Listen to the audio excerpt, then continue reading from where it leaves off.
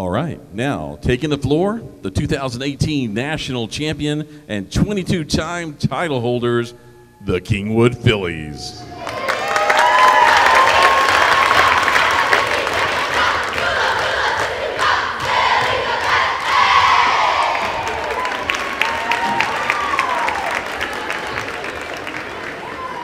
The Fillies will be opening the show tonight with their Team Lyrical.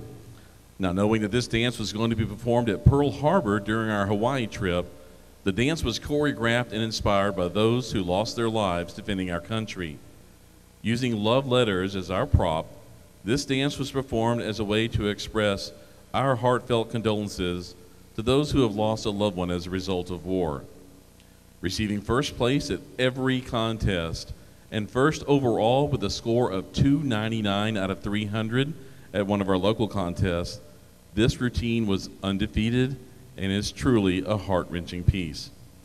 As previously stated, the Fillies performed this piece in front of the USS Arizona Memorial and the battleship USS Missouri during their trip to Hawaii. The education director congratulated us on our piece and presented us with a flag that was actually flown on the battleship Missouri on the anniversary of the day the treaty was signed ending World War II, September 2nd, 1945. Choreographed by the military officers and Miss Lewis, we hope you enjoy the Kingwood Fillies and their nationally acclaimed and award winning lyrical, To I Will Wait for You.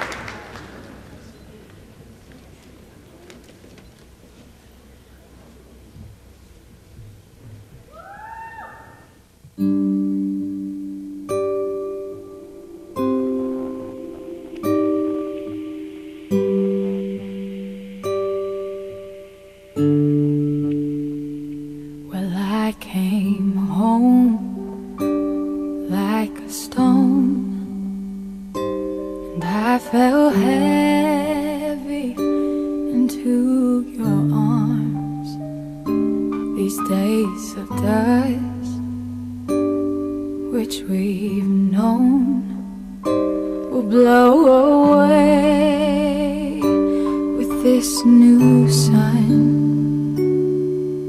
And I will wait, I will wait for you. And I will wait, I will wait for you. So break my step and relent. Will you forgive? And I won't forget. No, what we've seen from him with less.